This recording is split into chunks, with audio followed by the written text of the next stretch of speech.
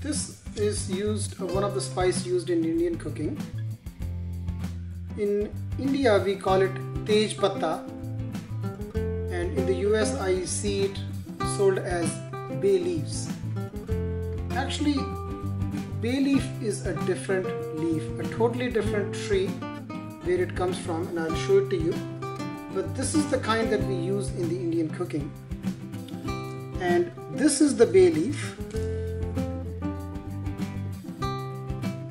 and there is a very much a difference between the two leaves.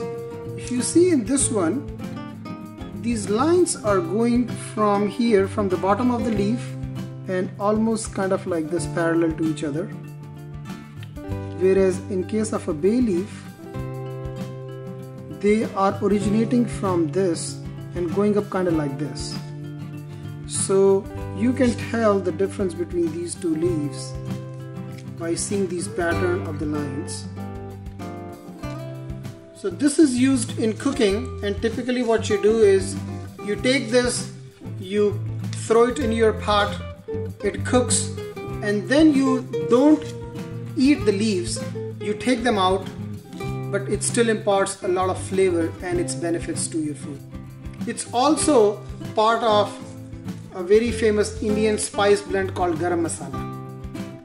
So garam means hot, means it's heating or has a very digestive effect on the body.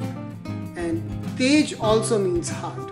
So this is tej patta means uh, patta means leaf. Tej means hot or heating. That's what this leaf does.